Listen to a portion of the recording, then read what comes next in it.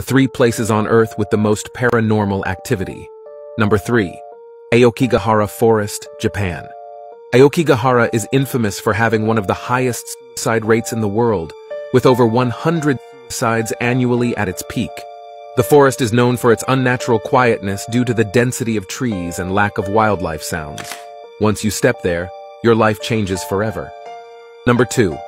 Poveglia Island, Italy. Poveglia Island is infamous for its history as a quarantine station during the bubonic plague, with countless deaths and suffering. It is rumored that the island's soil is composed largely of human ash. In the 20th century, the island was used as a mental asylum where patients were allegedly subjected to cruel experiments. Before revealing the number one, remember to subscribe and like the video. Number one, Skinwalker Ranch, Utah, USA.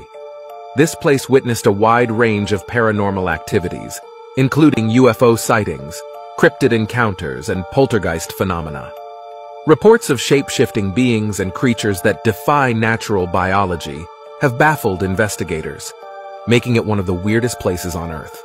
Would you consider a trip to of one of these places? Which one? Let me know in the comments.